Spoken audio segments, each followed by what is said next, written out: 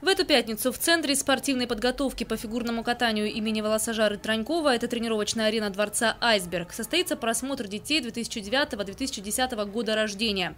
По итогам просмотров будет решаться вопрос о зачислении спортсмена на отделение фигурного катания на коньках. В отборе примут участие заслуженный тренер России Нина Мозер, олимпийский чемпион Алексей Урманов, Татьяна Волосожар и Максим Траньков.